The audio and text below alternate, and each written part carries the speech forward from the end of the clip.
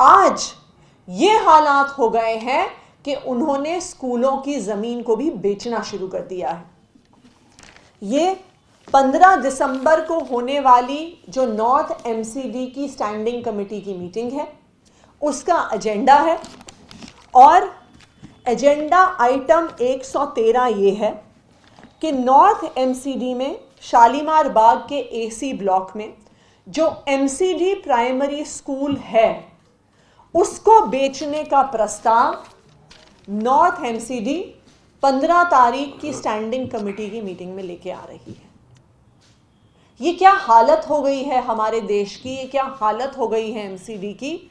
कि यहाँ तक तो हमने सुना था कि बच्चे स्कूल छोड़ के जा रहे हैं, स्कूलों को बंद कर दिया जा रहा है, लेकिन आज भाजपा शासित एमसीडी में स्कूलों की ज़मीन को बेचा जा रहा है। आज हम यहाँ पहुँच गए हैं।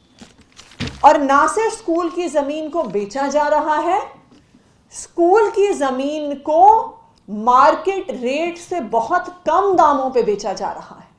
क्यों? क्योंकि किसी से ज़रूर भाजपा के नेताओं ने, भाजपा के पार्षदों ने साठ गांठ कर ली होगी। उनको ये लग रहा है कि अप्रैल में तो हमारी सरकार जाने वाली है। अप्रैल में तो हमारा शासन जाने वाला है। उससे पहले जितनी जेब भर सकते हैं, वो भर लीजिए।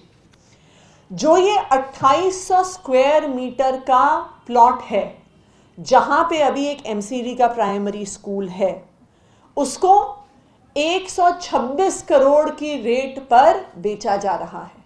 वो प्राइस सेट करी गई है उसकी सेल के लिए। और जबकि आप देखिए कि उस एरिया में, अगर हम शालीमार बाग के उस इलाके में मार्केट रेट को देखने जाएँ तो मार्केट रेट उस प्लॉट का कम से कम 250 करोड़ है सिर्फ़ रेजिडेंशियल एरिया के लिए।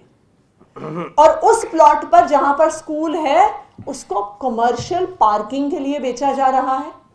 और उस पूरे एरिया में पार्किंग के अगर अगर हम कमर्शियल रेट के हिसाब से ज़मीन की वैल्यू लगाएँ तो वो 500 करोड़ की बिकेगी। ये एमसीडी की कहानी है कि एक तरफ़ दिल्ली सरकार है जो नए स्कूल खोल रही है, हज़ारों नए कमरे बना रही है, जहाँ पे इस साल दो लाख से ज़्यादा बच्चों ने प्राइवेट स्कूल छोड़कर सरकारी स्कूल में एडमिशन लिया है, जहाँ पे हम टीचरों को ट्रेनिंग के लिए विदेश भेजते हैं, जहाँ के बच्चे आईआईटी में एडमिशन ले रहे हैं, नीट में एडमिशन ले रहे हैं जहाँ के बच्चे बिज़नेस ब्लास्टर्स जैसे प्रोग्राम के माध्यम से ऑन्ट्रप्रनर्स बन रहे हैं इन्वेस्टर्स के सामने अपना बिज़नेस लेके जा रहे हैं, वहाँ पे एमसीडी की सरकार है जो कह रही है कि हम ना सिर्फ़ स्कूल बंद करेंगे, हम भ्रष्टाचार के साथ अपनी जेब भरने के लिए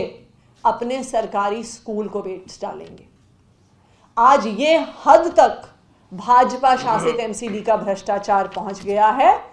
उन्हें लगता है कि आखिरी चार महीने में जो बेच सकते हैं वो बेच डालिए, जेब में जितने पैसे भर सकते हैं वो भर डालिए।